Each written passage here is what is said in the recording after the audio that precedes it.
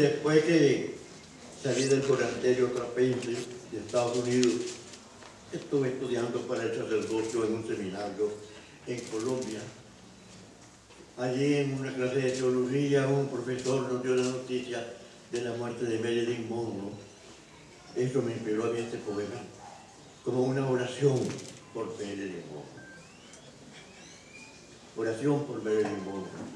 Señor, recibe a esta muchacha conocida en toda la tierra con el nombre de Marilyn Monroe, aunque ese no era su verdadero nombre, pero tú conoces su verdadero nombre, el de la huerfanita violada a los nueve años y la empleadita de tienda que a los 16 se había querido matar y que ahora se presenta ante ti sin ningún maquillaje, sin su agente de prensa, sin fotógrafo y sin firmar autógrafo, sola como un astronauta frente a la noche espacial.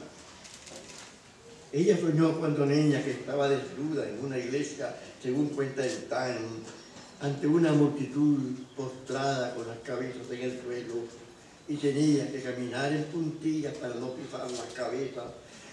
Tú conoces nuestros sueños mejor que los psiquiatras.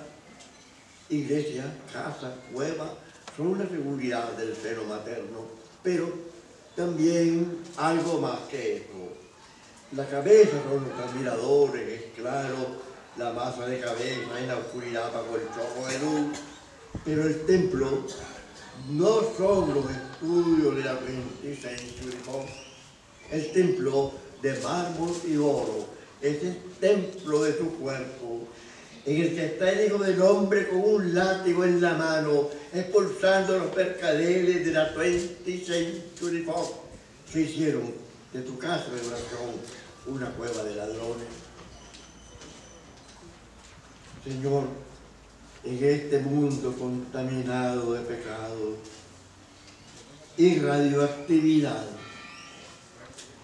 tú no culparás tan solo a un empleadito de tienda, que como todo empleadito de tienda soñó ser estrella de su vida. Y su sueño fue realidad, pero como la realidad del Technicolor, ella no hizo sino actuar según el script que le dimos, el de nuestra propia vida, y era un script actuoso.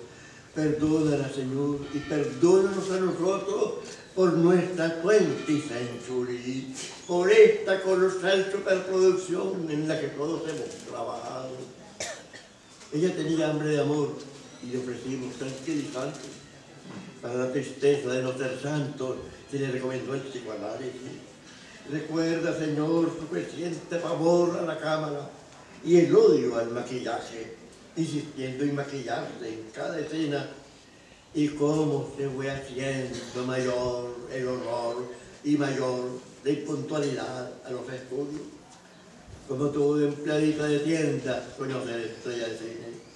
Y su vida fue irreal como un sueño que un psiquiatra interpreta y archiva. Sus romances fueron un beso con los ojos cerrados, que cuando se abren los ojos se descubre que fue bajo reflectores y apagan los reflectores. Y desmontan las dos paredes del aposento, era un set cinematográfico, mientras el director se aleja con su libreta porque la escena ya fue tomada. O como un viaje en yate, un beso en Singapur, un baile en Río, la recepción en la mansión del duque y la duquesa de Windsor, vistos en la salita del apartamento miserable.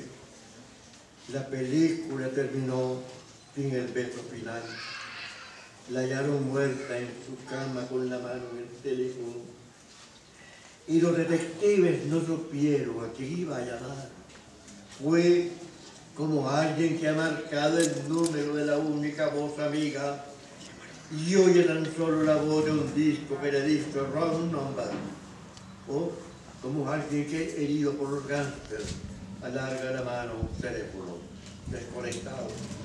Señor, quien quiera que haya sido el que ella iba a llamar y no llamó, y tal vez no era nadie.